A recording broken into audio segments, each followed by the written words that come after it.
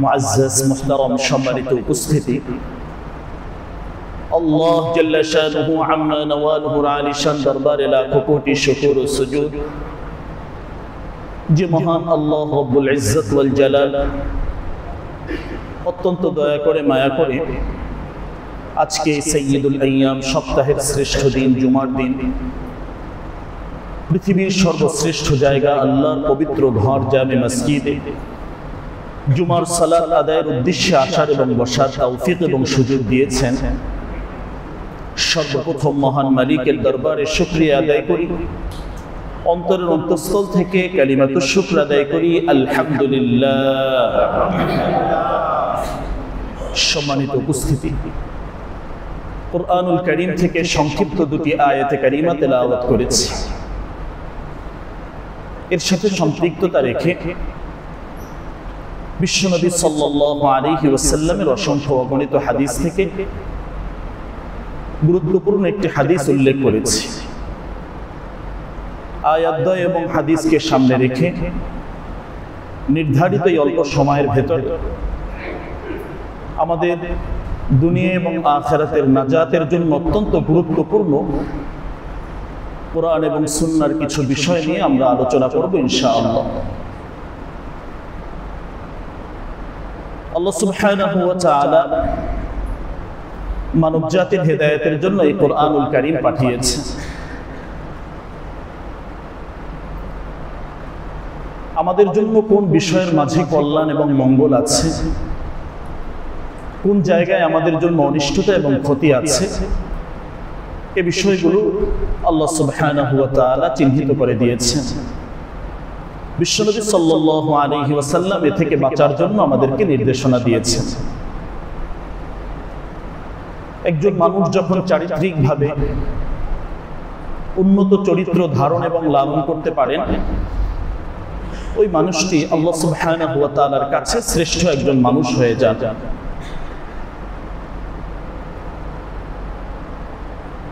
তার চারিত্রিক বৈশিষ্ট্যটা যদি ভালো হয়ে যায় তো ফেরেশতাদের থেকেও মানুষ অনেক বেশি আগে বেড়ে যায়।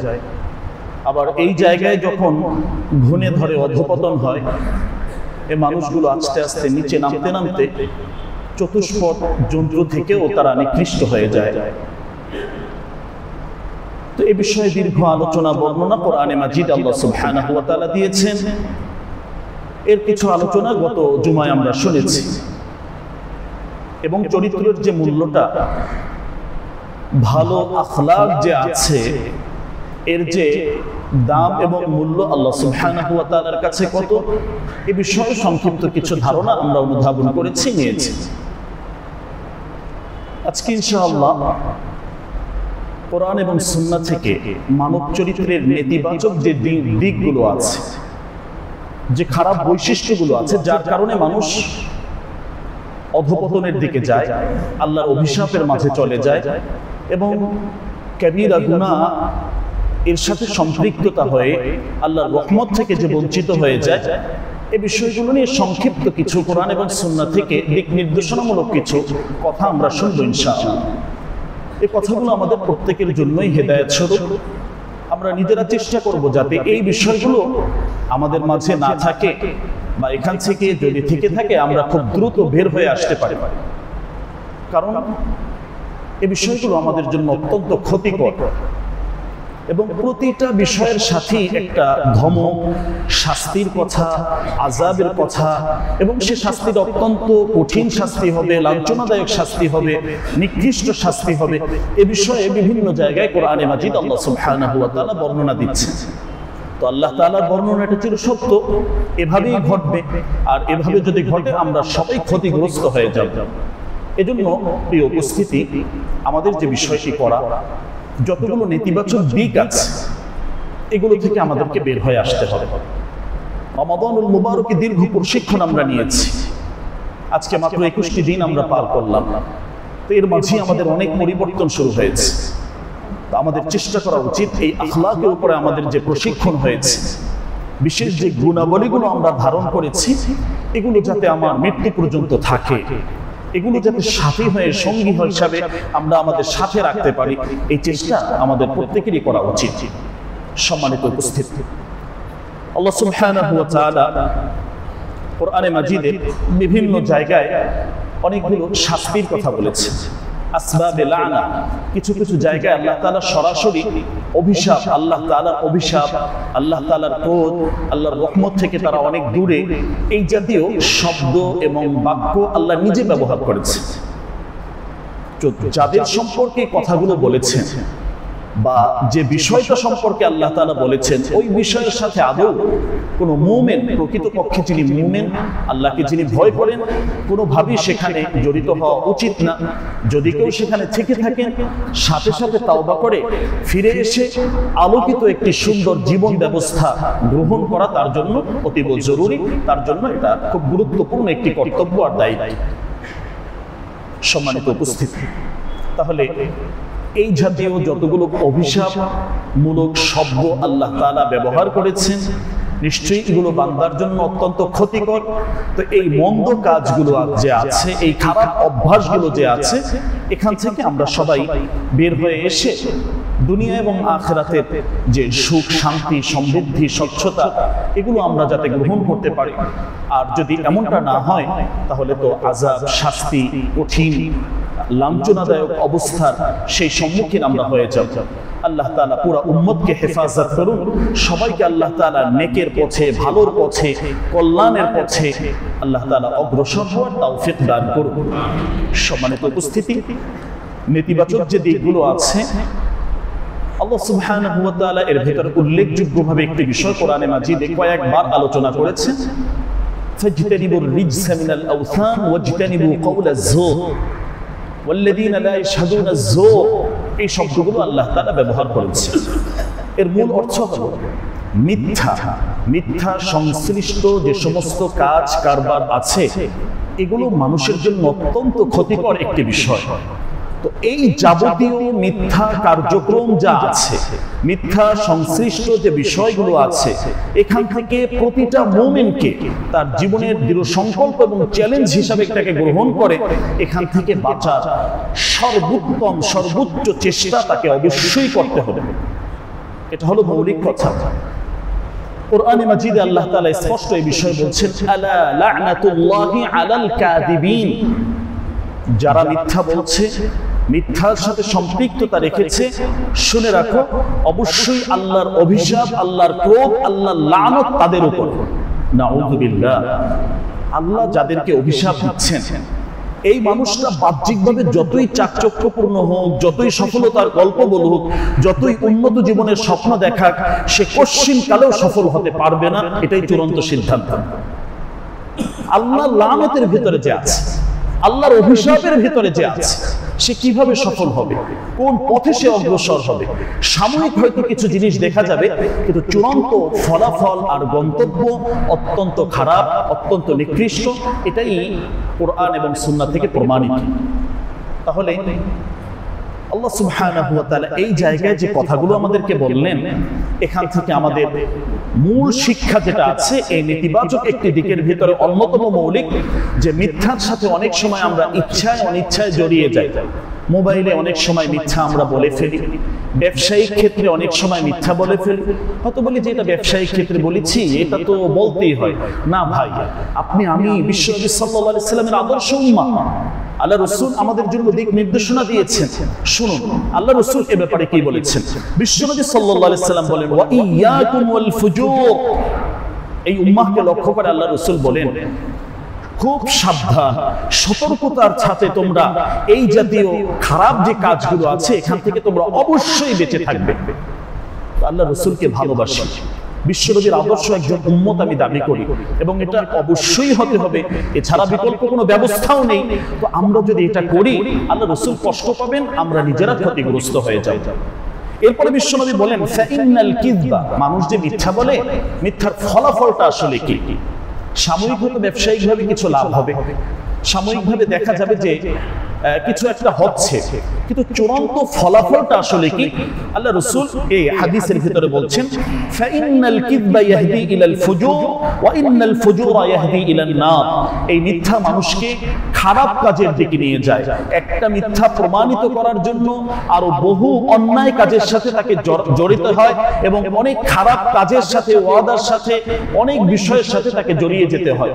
আর এই সব কিছুর ফলাফল হলো, ইয়াহদি ইলান নার। মানুষকে চূড়ান্ত ভাবে এগুলো জাহান্নামের দিকে নিয়ে যাচ্ছে। প্রিয় ভাই আল্লাহ রসুল স্পষ্ট আমাদেরকে বলে দিচ্ছেন একটা হলো আল্লাহর অভিশাপ এবং আল্লাহ তাআলা আমাদেরকে বলছেন, ওয়াজতানিবু কওলা জোর তোমরা সমস্ত মিথ্যাকে পরিহার করো। আল্লাহ বলছেন, মিথ্যা যেখানে আছে, এখানে আল্লাহর রহমত কখনোই আসে না। আল্লাহর আযাব গজব সেখানে, ফেরেশতারা সেখান থেকে দূরে সরে যান। এবং আল্লাহ তাআলা সূরা ফুরকানের শেষ দিকে এসে বলছেন, ওয়াল্লাযীনা লা ইয়াশহাদুনা জোর যারা আল্লাহর প্রিয় বান্দা হবেন, রহমানের প্রিয় বান্দা হবেন, তাদের বৈশিষ্ট্য হলো কখনোই মিথ্যার সাথে তারা সাক্ষী দিবেন না, মিথ্যা যে জায়গায় আছেন, সেখানে থাকবেন না। আজকে আমাদের আইন আদালতগুলো যদি দেখি, আমাদের বিভিন্ন ব্যবসায়িক কাজ কারবারগুলো যদি দেখি, সমাজের বিভিন্ন স্তরে এবং হাঁটতে চলতে মোবাইলে বিভিন্ন জায়গায় অনেক সময় এই কাজগুলো আমরা জেনে না জেনে, ভুলে, অজান্তে অনেক সময় অনেকভাবে আমরা করে ফেলি। তাহলে প্রিয় ভাই, সংক্ষিপ্ত কথা, এটা একটা নেতিবাচক দিক এবং কবিরা গুনাহ, এর সাথে আল্লাহর অভিশাপের একটি সম্পর্ক। তো আমরা চাই ভালো মানুষ হতে, আদর্শ মানুষ হতে, আল্লাহ রসুলের প্রিয় উম্মা হতে, এটা যদি চাই, বাস্তবিক অর্থে দিন থেকে যদি এটা বিশ্বাস করি, তাহলে প্রথমেই আমাদেরকে এখন এই মুহূর্তে সিদ্ধান্ত নিতে হবে, আমরা সকল ধরনের যাবতীয় মিথ্যা কার্যক্রম থেকে বিরত থাকব এবং ইনশা আল্লাহ আমরা যদি সত্যের জীবন ধারণ করি, এখান থেকে আল্লাহ তাআলা আমাদেরকে জান্নাতের পথ দেখাবেন। মিথ্যা যেভাবে জাহান্নামের পথে মানুষকে নিয়ে যায় সত্য মানুষদেরকে নাজাতের পথে নিয়ে যায়, মুক্তির পথে নিয়ে যায়, জান্নাতের পথে নিয়ে যায়, সুবহানাল্লাহ। তাহলে উভয় বিষয়ের ফলাফল এবং পরিণতি আমাদের সামনে আছে। আমরা কোনটা গ্রহণ করব সেটা আমাদের নিজস্ব সিদ্ধান্ত। আল্লাহ বলেন, দুটি রাস্তাই তোমার সামনে খোলা আছে। আল্লাহর কাছে গিয়ে বললে এটা হবে না যে আমি জানতাম না, আমি বুঝি নাই, এটা চলবে না। তোমার সামনে দুটি রাস্তাই খোলা আছে। কোরআন এবং সুন্নাহ থেকে তোমাদের সামনে স্পষ্ট বর্ণনা আছে। আল্লাহ তোমাদেরকে বিবেক দিয়েছেন, সুস্থতা দিয়েছেন। এই বিবেক দ্বারা সব কিছু যেভাবে চিন্তা করতে পারো, পার্থক্য করতে পারো, এই জায়গায় কেন তুমি পারবে সম্মানিত উপস্থিতি।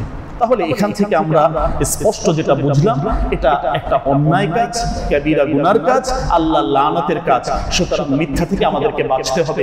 রমজানের মৌলিক একটা শিক্ষাই ছিল শুধু রোজা রাখলাম জবানকে পবিত্র রাখলাম না মিথ্যা থেকে বাঁচলাম না।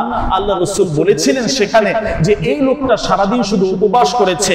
আল্লাহর থেকে রোজার যে পুরস্কার আর প্রতিদান এটাই বান্দা পাবে।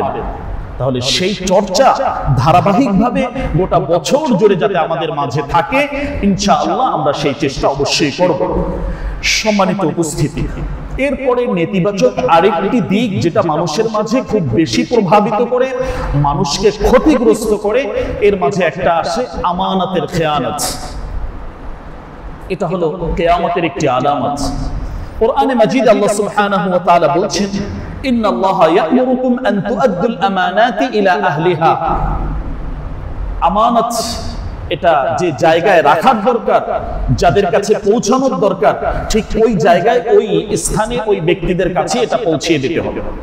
সবচেয়ে বড় যে বিষয়, এটার সাথে অত্যন্ত শাস্তির কথা এসেছে, আমরা সবাই জানি। মুনাফিক, তাদের ব্যাপারে খুব ভয়াবহ আলোচনা কোরআনে মাজিদে আল্লাহ করেছেন।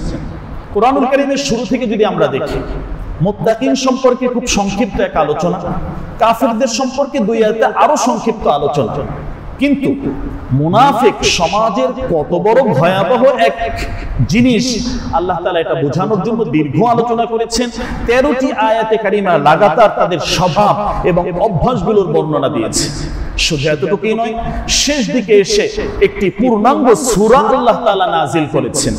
এছাড়াও মাঝে মাঝে তো অনেক শক্ত কথাই মুনাফিকদের সম্পর্কে বলা হয়েছে যে এই মুনাফিকরা ইন্নাল মুনাফিকিনা দারকিল আসফালি মিনান নার। জাহান্নামের যে স্তরগুলো আছে এর সর্বনিম্ন শাস্তির যে স্তরটা আছে যে কঠিন ভয়াবহ শাস্তি হবে এই জায়গায় যে অবস্থান করবে মুনাফিকরা এখানে থাকবে। এদের স্বভাবগুলো কি? এর ভিতরে মৌলিক একটি স্বভাব হলো ইদা তুমি না খানা। যখন তাদের কাছে কোনো আমানত রাখা হয় এই আমানতের খেয়ানত তারা করে। কেউ কিছু টাকা পয়সা রাখল, এটাকে ভেঙে ফেলবে কেউ একটা কথার দায়িত্ব দিল, আমানত দিল, এটাকে ছড়িয়ে পুরো সমাজকে অস্থির করে ফেলবে। এগুলো সব আমানত। সময়ের আমানত, অর্থনৈতিক আমানত, কথার আমানত, এ জাতীয় অনেকগুলো, এটা বিস্তারিত ব্যাখ্যা সাপেক্ষ একটি বিষয়। অনেক দীর্ঘ আলোচনা কোরআন এবং সুন্নার মাঝে এই বিষয় আছে। সুতরাং এই আমানতের ক্ষেত্রে যে খেয়ানতগুলো হয়, যে এই জায়গায় ভুল ত্রুটিগুলো হয়, এটা মানুষকে ক্ষতির দিকে নিয়ে যায়, শাস্তির দিকে নিয়ে যায়। আল্লাহ তাআলা বলছেন আল্লাহর নির্দেশ। যে তোমরা যে সমস্ত অঙ্গীকারগুলো করছ যে ওয়াদাগুলো দিচ্ছ, এটাকে পরিপূর্ণ তোমরা করবে। তো আমরা অনেক সময় অনেক ওয়াদা দিই হ্যাঁ ভাই, এটা আপনাকে করে দিব, এটা আপনাকে দিচ্ছি। হ্যাঁ আপনি কালকে এসেন আপনার টাকাটা আমি দিয়ে দিব। এই জাতীয় অনেক কথা আমরা অনেক সময় বলে ফেলি। প্রিয় ভাই, জবান এবং অন্তর উভয়টাকে একত্রিত করে এই কথাগুলো বলা উচিত। মুনাফিক তো তাকেই বলে জবানে একটা প্রকাশ করছে কিন্তু অন্তরের ভেতরে লুকায়িত আছে আর একটা দুমুখ মানুষ ভেতরে ভেতরে অনেক ষড়যন্ত্র, অনেক কিছু আছে, কিন্তু মুখ থেকে সেটা প্রকাশ করছে না। মুখে খুব ভালো কথা বলছে। মদিনার ভিতরে এমন কিছু মানুষ ছিল। এদের ব্যাপারে খুব ভয়াবহ শাস্তির কথা এসেছে এবং চিহ্নিত মুনাফিক হিসাবে তাদেরকে উল্লেখ করা হয়েছে।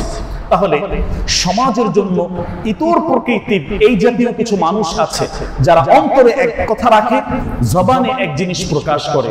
এরা হলো মুনাফিকের ভিতর। প্রিয় ভাই, এটা আমাদের আমলকে বরবাদ করে দিচ্ছে। এটা আমাদেরকে ক্ষতিগ্রস্ত করছে। জাহান্নামের নিম্ন স্তরে আমাদেরকে নিয়ে যাচ্ছে। আল্লাহ রসুল থেকে অভিশাপের কথা এখানে এসেছে। তো এই যে চারিত্রিক অধপতনগুলো আমাদের মাঝে হচ্ছে বিভিন্ন ভাবে কথায় কাজে আমাদের যে আজকে মিল নেই, ওয়াদা অঙ্গীকার করার পরে যেটা আমরা রক্ষা করছি না, এটা এমনিতেই বলছি, সাময়িকভাবে কাজ সারার জন্য বলছি। এই জাতীয় যে নাটকগুলো আমাদের হয়, এখান থেকে একজন মোমেনকে বেরিয়ে আসতে হবে।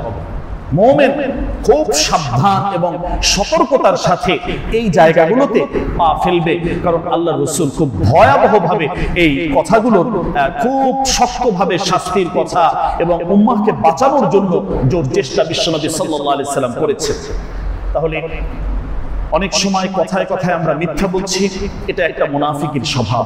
ইদা হাদ্দাসা কাদা যখন কথা বলে, কথায় কথায় তারা মিথ্যা আশ্রয় নিচ্ছে, মিথ্যার কথা বলছে। এটা একটা মুনাফিকের স্বভাব।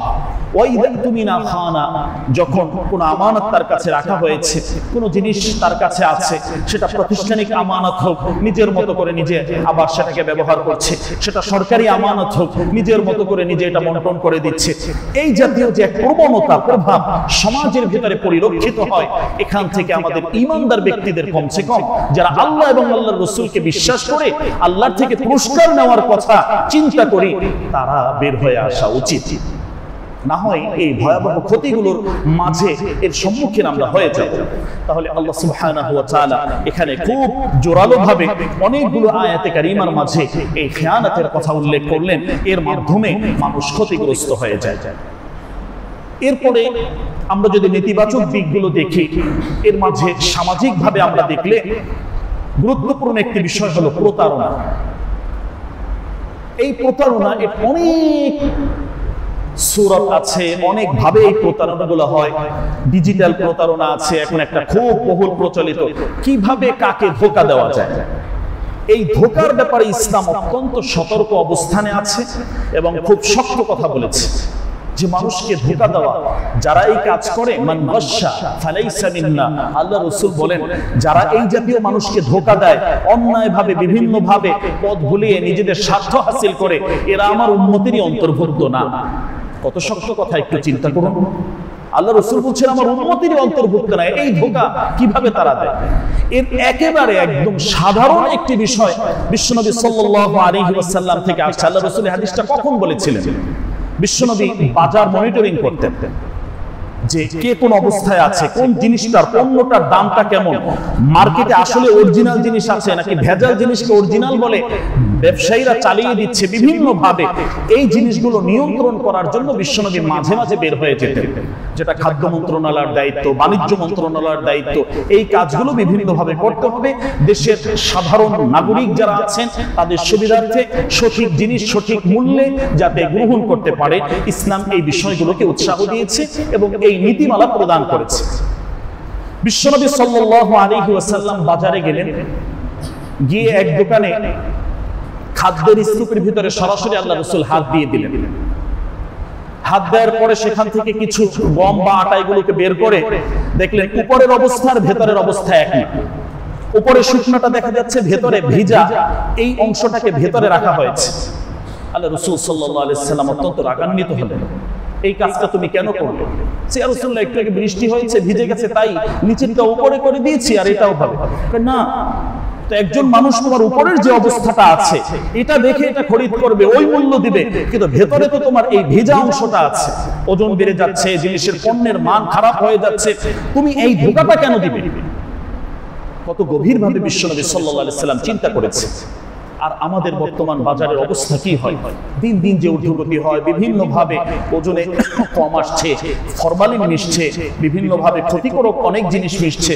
এই জিনিসগুলো অনেক সময় আমাদের সেই গুরুত্ব সহকারে আমরা মোমেনরা সেখান থেকে বিরত থাকতে পারি না। সামান্য কিছু স্বার্থের জন্য কিছু লোভের জন্য অনেক সময় অনেক কিছু আমরা করে ফেলি। আল্লাহ রসুল সাল্লাল্লাহু আলাইহি ওয়াসাল্লাম ফালা জাআলতাহু ফাওকা আত-তাআম যেটা যেভাবে আছে যে গুণগত মান ওইভাবেই তুমি রাখো যখন তোমার কাস্টমারকে সেল করবে বলে দিবে হ্যাঁ এটা এই অবস্থায় আছে গুণগত মান এটা। কসম খেয়ে আল্লাহর কসম আপনার জন্য এত এটা একদম ব্র্যান্ডের অমুক জায়গার অমুক দেশের। তো আদৌ এর সাথে কোনো সম্পর্ক নেই। চায়না থেকে এসে এটাকে অন্য ভালো কোনো দেশের দিকে এটাকে সম্পৃক্ত করে আমরা দিচ্ছি। অনেক কাজ এভাবে হচ্ছে। বিভিন্ন মার্কেটে গেলে এক একটা পণ্য এক এক জায়গায় কিন্তু এটার ব্যতিক্রম ভাবে মিথ্যা কথা বলে বা মিথ্যার আশ্রয় নিয়ে মূল্য বৃদ্ধি করে আমরা বিক্রি করছি। তো এই হাদিস আমাদের জন্য বড় ধরনের বড় ধরনের শিক্ষণীয়, বিশেষ করে যারা আল্লাহ আল্লাহ রসুলকে ভয় করেন, আল্লাহ আল্লাহ রসুলকে মহাব্বত করেন, মোমেন ব্যক্তি যারা আছেন, পরিপূর্ণ মুসলমান ব্যক্তি যারা আছেন, তাদের জন্য খুব দিক নির্দেশনামূলক একটি কথা। আল্লাহ রসুল সাল্লাহ আলী বলেন কে নাস মানুষ আসবে, তারটা সে দেখবে, দেখে তার মতন করে সে নিবে। তোমারটা পুরোটা লিখে দিবে, পুরোটা বলে দিবে। তুমি যে এই কাজটা করল, শুনে রাখো। তুমি এই যে ধোকার একটি আশ্রয় নিয়েছো, তুমি আমার উন্নতির অন্তর্ভুক্ত না। খুব সতর্কতার সাথে বিশ্বনবী তখন এই কথাটি বললেন। এখন দেখুন, প্রিয় ভাই, আমাদের সামাজিক অবস্থা, আমাদের বাজারের অবস্থা, আমাদের আশপাশের অবস্থা কত ভয়াবহ, প্রতারণার কতগুলো সিস্টেম কতগুলো বিভিন্ন ধরনের মাধ্যম আমাদের এখানে ব্যবহার করা হচ্ছে। অনেক ধরনের। তো এখান থেকে আমাদেরকে ফিরে আসতে হবে।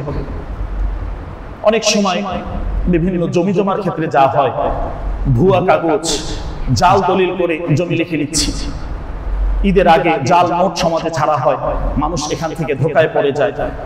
এই জাতীয় যা আছে, যাবতীয় কার্যক্রম, এটা কোনো মোমেনের সাথে যায় না। এটা হলো নেতিবাচক একটি দিক। এর মাধ্যমে মানুষ আধ্যাত্মিকভাবে অনেক ক্ষতিগ্রস্ত হয়ে জাহান নামের পথে পা বাড়াচ্ছে। নিজেকে ধ্বংসের দিকে নিয়ে যাচ্ছে। সুতরাং এখান থেকে আমাদেরকে ফিরে আসা তাওবা করা এই জাতীয় দুর্নীতির সাথে অবৈধ বিষয়ের সাথে যদি কারও কোনো ধরনের সম্পৃক্ততা থাকে আল্লাহর ঘর মসজিদে তাওবা করে আল্লাহ আমি ভালো হয়ে যাব আমার কবরে তো আমাকেই থাকতে হবে এই শাস্তিগুলো আমি কীভাবে ভোগ করব আমার বিবি বাচ্চার জন্য এত কিছু করে যাচ্ছি তারা তো আমার কোনো উপকারে আসবে না। আমার এই সম্পদ যে আমি জমা করে রেখে যাচ্ছি এটা তো আল্লাহর রাস্তা আপনার রাস্তায় আমার জন্য খরচ হবে না তো আমি কেন তাদের গুনাহের বোঝাগুলো এভাবে আমার মাথায় নিয়ে আমি কবরের পথে পা বাড়াচ্ছি? আমি কি কেন আখেরাতের পথে আমি সামনে অগ্রসর হচ্ছি? তো এখনই আমাদের তাওবা করে। এই জাতীয় প্রতারণার যে দিকগুলো আছে, সেখান থেকে আমাদেরকে বের হয়ে সব ব্যবসায়ী, সঠিকভাবে চলা, সঠিক পন্থায় আমাদের কার্যক্রমগুলো পরিচালনা করা, এটা আমাদের ইমানি দায়িত্ব, এটা আমাদের নৈতিক দায়িত্ব, চারিত্রিক উন্নতির জন্য অত্যন্ত গুরুত্বপূর্ণ নির্দেশনা শরীয়তকে ব্যাপারে আমাদেরকে দিয়েছে। এরপরে আমরা যদি আরও আসি, নেতিবাচক যে দিকগুলো মানুষকে প্রভাবিত করে, ক্ষতিগ্রস্ত করছে। এর ভিতরে গুরুত্বপূর্ণ একটি বিষয় হলো যেটা মানুষের আমলকে শূন্যের কোঠায় নিয়ে আসে। সমস্ত আমলগুলোকে জ্বালিয়ে দেয়। আমলগুলো সব বরবাদ হয়ে যায়, নষ্ট হয়ে যায়। গুরুত্বপূর্ণভাবে কোরআনে মাজিদ আল্লাহ তাআলা একাধিকবার এই বিষয়ে আলোচনা করেছেন, গীবত এবং পরনিন্দা সম্পর্কে। যতটুকু বলো, ভালো কথা বলো। না হয় জবানকে সমস্ত খারাপ কাজ থেকে বিরত রাখা। কোনো বান্দা যদি চুপ থাকে, এই চুপ থাকাটা তার নাজাতের ওসিলা হয়ে যাবে মান সামাতা নাজা অতিরিক্ত বকবক করছি, অতিরিক্ত কথা বলছি। এই কথার ভিতরে অনেক মিথ্যার আশ্রয়, ধোকার আশ্রয়, প্রতারণার আশ্রয়, মানুষের মানহানি অনেক বিষয় সেখানে হচ্ছে। এই জাতীয় অনেকগুলো মামলা কেয়ামতের ময়দানে আমার সামনে দাঁড়াবে। তাহলে মানুষকে ক্ষতিগ্রস্ত করছে। তার আমলকে বরবাদ করে দিচ্ছে এরকম গুরুত্বপূর্ণ একটি পয়েন্ট এবং বিষয় হলো গীবত এবং পরনিন্দা ওই মানুষগুলো যখন কেয়ামতের ময়দানে আল্লাহর কাছে আবেদন করবে, আল্লাহর কাছে যখন আদালতে মামলা করবে, তো আমি যে ন্যাক আমলগুলো এখন করছি, এই ন্যাক আমলগুলো ওই ব্যক্তির আমল নামায় সব দিয়ে দিতে হবে। যদি ন্যাক আমল শেষ হয়ে যায়, তার গুনাহগুলো আমার আমল নামায় আসবে এবং এই গুনাহের শাস্তি হিসাবে জাহান নামে চলে যাবে। তাহলে কেন নিজেরটা খেয়ে নিজে কষ্ট করে অন্যের গুণাগুলো আমার ঘাড়ে আমি নেব? যদি কেউ কারও গিবত করে তাহলে মন খারাপ করবেন না রাগান্বিত হবেন না বরং একটু খুশি হয়েন যে আপনার গুণাগুলো সে নিয়ে যাচ্ছে। আপনি তার সবগুলো নিতে পারবেন এক সময় কেয়ামতের ময়দানে। পারলে এদেরকে কিছু পুরস্কারও দেওয়া। ভাই তুমি আমার অনেক উপকার করেছ যে উপকারটা কেয়ামতের ময়দানে কেউ করবে না। অনেক উপকার করেছ তুমি আমার ভাই। আমার যে গিবত করছ, আমার জন্য যে বিভিন্ন ভাবে অপবাদ দিচ্ছ, তুমি আমার অনেক উপকার করছ। কারণ খুব ভয়াবহ একটি বিষয়। আল্লাহ তাআলা স্বয়ং যে ব্যাপারে বলেছেন, আইয়ুহিব্বু আহাদুকুম আন ইয়াকুলা লাহমা আখিহি মাইতা। তোমার মৃত ভাইয়ের বস্তু তুমি ভক্ষণ করছ। পৃথিবীর কোন প্রাণীও এটা করে না। কোন প্রাণীও এই কাজ করে না। কিন্তু আমরা অহরহ সকাল সন্ধ্যা এই কাজগুলো করে যাচ্ছি। জবানটাকে প্রিয় ভাই নিয়ন্ত্রণে রাখা। এক্ষেত্রে অনেক সময় বলি আরে তার ভিতরে এটা আছে। তো কি হয়েছে? এজন্যই তো বলেছি। দেখুন সংক্ষিপ্ত কথা। জ্ঞানী বিবেকবান মানুষের জন্য এর মাঝেই রয়েছে শিক্ষা। একটা জিনিস কারও মাঝে আছে। তার অনুপস্থিতিতে তার পেছনে যদি এই কাজগুলো আমি বলি অন্যের সাথে এটাই হলো গিবত। তার ভিতরে আছে এই সমস্যাটা। কিন্তু তার অনুপস্থিতটা আমি এখান থেকে বলছি। দুই তিনজন মিলে খুব মজলিস গরম করে ফেললাম। ভাই তার গুণাগুলো আমি সব নিয়ে আসলাম। আমার নেকিগুলো তাকে আমি দিয়ে দিলাম। আহা কত বড় ক্ষতি নিজের উপরে আমি করছি প্রিয় ভাই। আর যদি তার ভিতরে এটা না থাকে তাহলে এটা হলো অপবাদ তোহমাত। এটা হলো মারাত্মক ধরনের কবিরা গুণা যেটা নাই এই সম্পর্কে তাকে ট্যাগ লাগিয়ে দিচ্ছ। কত বড় তোমার সাহস। মানুষের এই মানহানি করা এটা কেয়ামতের ময়দানে মানহানি মামলা হবে এদের বিরুদ্ধে। এবং নেকি দ্বারা এগুলোকে পরিবর্তন করতে হবে। তাহলে সামাজিকভাবে আমরা যে পিছিয়ে যাচ্ছি আমাদের নেকিগুলো শূন্যের কোঠায় নেমে আসছে আমাদের সবগুলো অন্যকে দিয়ে দিচ্ছি। এর মৌলিক একটি কারণ যেটা আছে এটা হলো এই বিপদ পরনিন্দা এই পরচর্চা এই যে কাজগুলো করছি। তো এটা তো আসলে কোনো মোমেনের কাজ না, বরং মোমেনের বৈশিষ্ট্য হলো সুরাহ মুমিনুনে আল্লাহ তাআলা বলছেন এই জাতীয় অনার্থক, ফালতু কথা, কাজে, কোনো মোমেন জড়াবে না। তার নিজের চিন্তায় সে নিজে ব্যস্ত থাকবে। হয় দুনিয়ার কোনো উপকারে কাজ করবে, না হয় আখেরাতের কোনো উপকারে কাজ করবে। আখেরাতে কীভাবে তার ঘরটা সুন্দর হয়, কবরটা কীভাবে আরও আলোকিত হয়, আরও সুন্দর হয়, সেই চেষ্টা এখানে থেকেই সে করবে। সুবহানাল্লাহ, আলহামদুলিল্লাহ। এই জাতীয় তাসবিহাতগুলো সে পাঠ করবে। এটা হলো মোমেনের কাজ। আল্লাহ রসুলের ব্যাপারে বলছেন মিন হুসনি ইসলামিল মারদি তারকুহু মা লা ইয়ানি। অনর্থক কাজের পাশেও মোমেন জড়াবে না। যদি কেউ বসে যে কেউ গল্প করে এই জাতীয় গীবত শিকায়তের মজলিস এগুলোকে সব সময় এড়িয়ে চলবে এটাই হলো মোমেনের কাজ। সে নিজে ক্ষতিগ্রস্ত হচ্ছে। আমাকে নিয়ে হবে আমি কেন ক্ষতিগ্রস্ত হব? তো এই আখেরাতের এতটুকু বুদ্ধি প্রতিটা মোমেনের ভিতরে থাকা উচিত। এই দূরদর্শিতাটুকু প্রতিটি মুসলমানের ভিতরে থাকা উচিত যে আখেরাতে আমি যাতে বঞ্চিত না হই এতটুকু দূরদর্শিতা তার ভিতরে অবশ্যই রাখতে হবে। তাহলে বিশ্বনবী সাল্লাল্লাহু আলাইহি সাল্লাম এখানে এই বিষয়ে আমাদেরকে বড় সতর্ক করেছেন। গীবত পরনিন্দার ব্যাপারে। এরপরে আমরা যদি দেখি আমাদের আরেকটি ভয়াবহ রোগ হিংসা প্রতিহিংসা বিদ্বেষ। আমাদের নিজেদের ভিতরে অনেক কিছু কাজ করে। এটা হলো মনের একটি বড় ধরনের রোগ। এই নেতিবাচক প্রভাবের কারণে তার আমলগুলো বরবাদ হয়ে যায়। দেখুন প্রিয় ভাই আমাদের নিজেদের জন্যই এই মোজাকারা এই আলোচনা। কীভাবে আমরা আখেরাতে উন্নত জীবন ভালো জীবন আমরা সেখানে যাপন করতে পারি।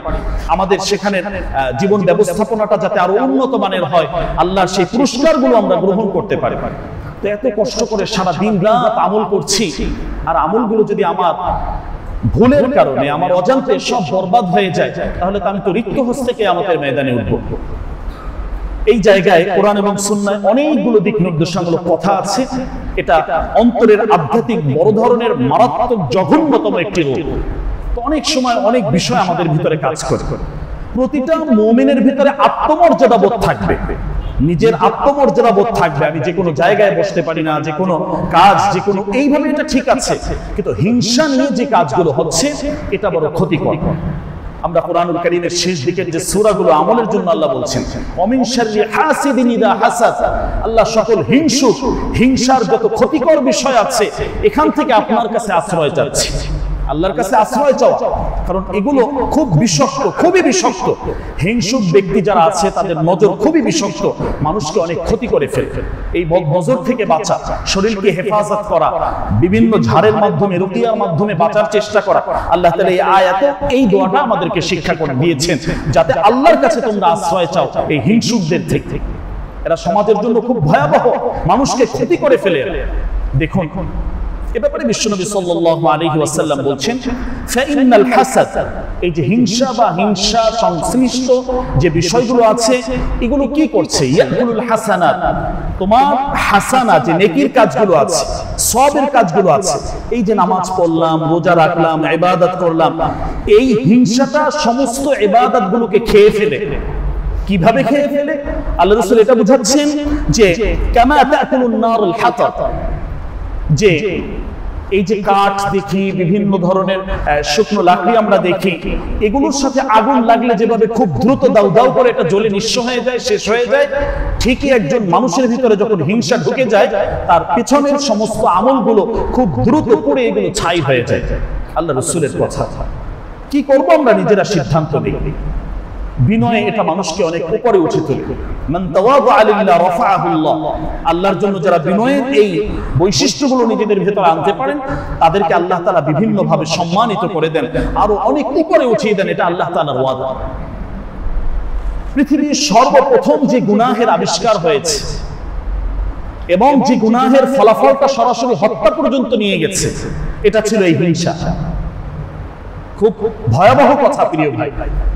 কোরআনে মাজিদ সূরা মায়েদা আপনি যদি দেখেন হাবিল এবং কাবিলের ঘটনাটা সেখানে তাদের দুই ভাইয়ের আলোচনা এসেছে বিবাহ নিয়ে অনেক কথা কোরবানি নিয়ে অনেক কথা।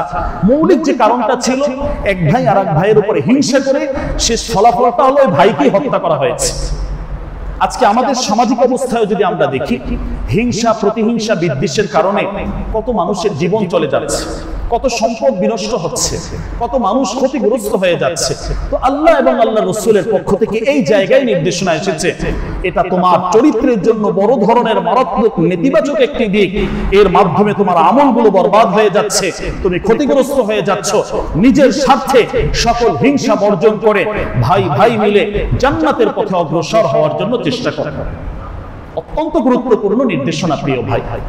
এরপরে যদি আমরা দেখি নেতিবাচক দিকগুলোর ভিতরে সামাজিক যে অধপতনগুলো হচ্ছে, এটা অত্যন্ত গুরুত্বপূর্ণ আরেকটি বিষয়।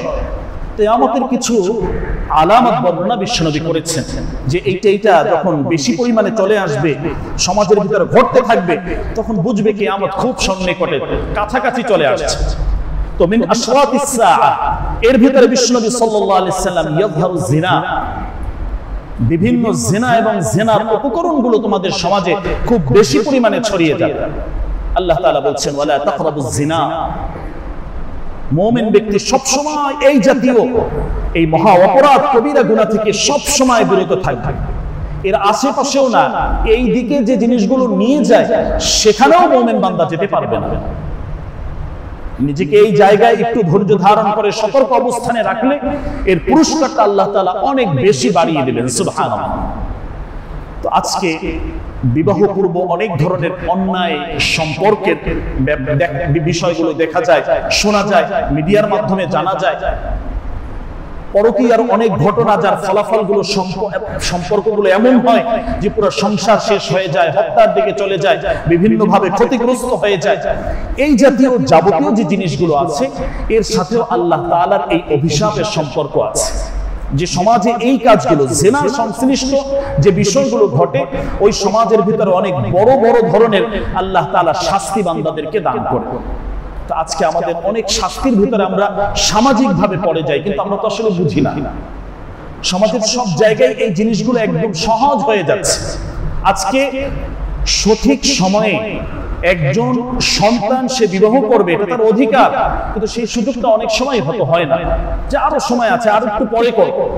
এক্ষেত্রে যে জিনিসটা আমাদেরকে সবচেয়ে বেশি ভয় দেখায়, সে ব্যাপারে আল্লাহ তাআলা আগেই আমাদেরকে নির্ভয় করে দিয়েছে আল্লাহ তাআলা বলছেন বিবাহ শাদী করবে উপযুক্ত হয়েছে, বয়স হয়েছে যদি তুমি গরিব হও, দরিদ্র হও, আল্লাহ তাআলা এই আমলের মাধ্যমে তোমাকে সচ্ছলতা দান করবেন, সুবহানাল্লাহ। তা আমরা মনে করি যে হ্যাঁ কি খাওয়াবো, কীভাবে চলবো? এটা একটা বিষয় শয়তান আমাদের মাথায় নিয়ে আসে এবং এখান থেকে আমরা ভুলের মাঝে থাকি। তো একজন বাচ্চা যখন সঠিকভাবে তার বয়স হয় বা তার এই জিনিসগুলোর প্রাকৃতিক প্রয়োজন হয়, অনেক সময় আমরা আমাদের অভিভাবকরা সেই কাজগুলো করতে পারি না। তো যে সমাজে বিবাহ যত কঠিন হয়, ওই সমাজে জেনাটা তত সহজ হয়ে যায়।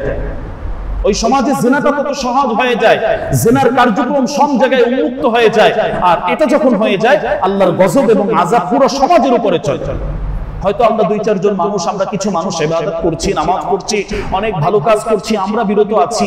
প্রিয় ভাই সামাজিক ভাবে যখন কোনো আজাব আসবে, কোনো গজব আসবে, তখন আমাদেরকে নিয়ে এই গজবটা আসবে, আমরা বাঁচতে পারব না। সুতরাং এই জাতীয় বদ অভ্যাস, পরকীয়ার যে সমস্যাগুলো আজকে আমাদের সমাজে আছে, এখান থেকে বের হয়ে আসা। সৎ, চরিত্রবান একজন মানুষ হওয়া, মিজানের পাল্লায় সবচেয়ে ওজনদার বিষয় এটা হবে। অনেক সময় না বুঝে শয়তানের ধোকায় অনেক যুবক ভাই বন্ধু হয়তো কেউ কেউ এই রাস্তায় চলে যেতে পারে। খুব দ্রুত এখান থেকে বের হয়ে আসা। এই জাতীয় যত সমস্যা এটা গজবের একটি কারণ।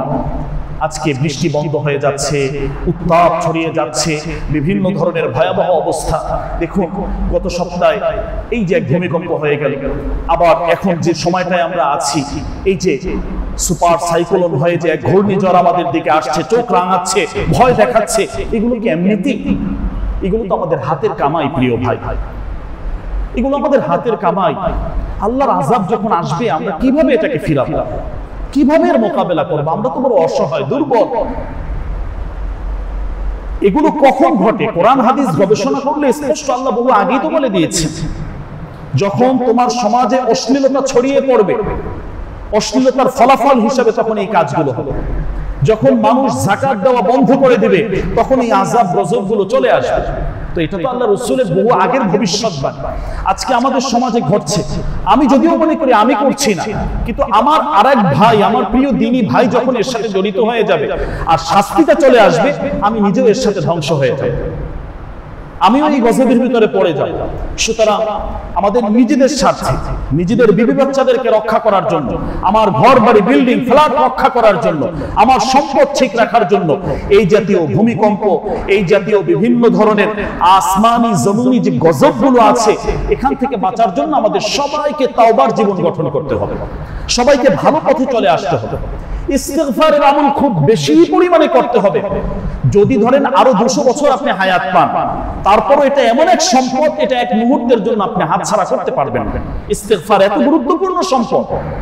এবং ইস্তেগফারটা এমন জিনিস জেনারেল চিকিৎসা একদম যত ধরনের সমস্যা, সব জায়গায় এই ওষুধটা প্রযোজ্য হবে, কার্যকর হবে।